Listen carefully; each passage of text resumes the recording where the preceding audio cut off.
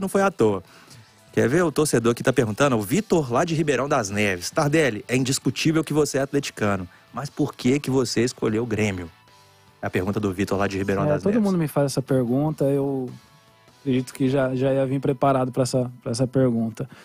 Quando eu escolhi o Grêmio, né, eu tive uma conversa bem, bem rápida com o Marx na época. é, e acompanhando o Campeonato Brasileiro, eu vi que o Atlético não estava num momento muito bom. Né, eu sabia que a mi- com a minha chegada a responsabilidade ia ficar enorme, a torcida ia querer o Tardelli de 2013, de 2009, só que o Atlético não passava por um momento muito bom.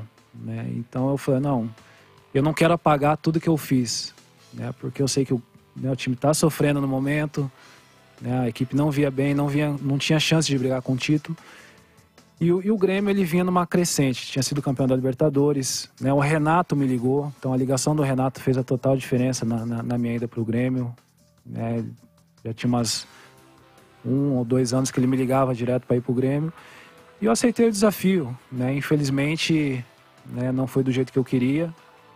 Tanto é que abri mão de tudo para poder voltar mais rápido pro, pro Atlético, porque né, era aqui que eu tinha que ser, era aqui que eu tinha que estar, era aqui que eu queria ser feliz, né, entrar mais ainda para a história. Né, mas infelizmente aconteceu. né, não me arrependo, mas poderia ter feito